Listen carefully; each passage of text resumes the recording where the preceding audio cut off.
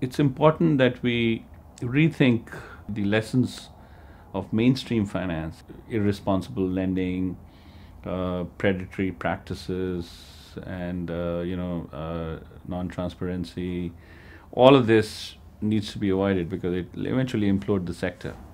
I definitely think we're seeing a slowdown in growth in terms of, of institutions around the world, but then we were experiencing growth that was phenomenal and maybe very challenging from an operational perspective and organizational and training and to maintain the quality of what was the model of microfinance and yet to grow at hundreds of percent a year um, poses a challenge that any company or any institution would, would, you know, would risk their, their quality on.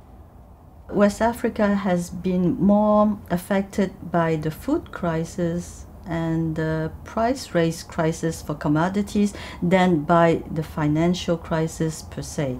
Many of the small farmers are still in subsistence economy and well this is in a way a good thing because then they are less affected by the world crisis uh, because uh, their subsistence economy is not that much linked to the whole global um, uh, economy.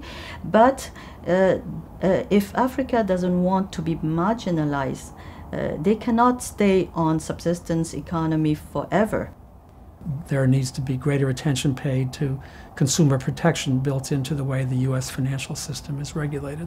We want to make sure that people are not becoming over indebted, are not paying too much for the loans that they're acquiring. But on a more positive note, we want to make sure that families who do acquire financial services understand what it is they're doing. Investors, for example, need to also have a, a more long term view of this industry rather than do short term uh, transaction maximization. Uh, uh, lenders should use uh, lenders' discipline as a device. They don't have to be on the boards, but each time they're they're giving a big big loan, they need to figure out that it's being used broadly along the right principles. I don't, don't mean moral policing, but but you know it's I think the sector is still too young for it to be to die a premature death because some people kind of lose sight of why it was set up in the first place.